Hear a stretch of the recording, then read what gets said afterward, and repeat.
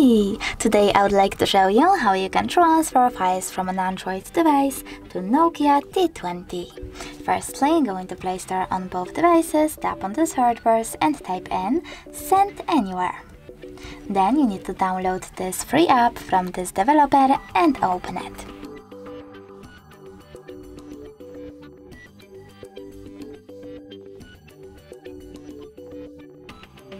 Over here, choose I accept, confirm, continue and allow.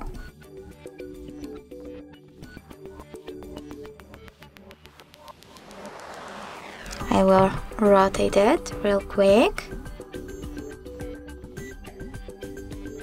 And now you need to select receive on Nokia and send on an Android.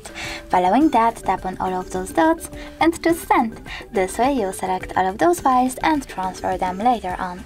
It will take a long time though, so I will go with only one file, like that photo, just send and step got it. As you can see from here, we have two ways to connect. We can scan QR code by tapping on this scanning icon over here on Nokia, choosing allow or only this time and pointing our device's camera at the code, but we can also just input this key here and click on receive.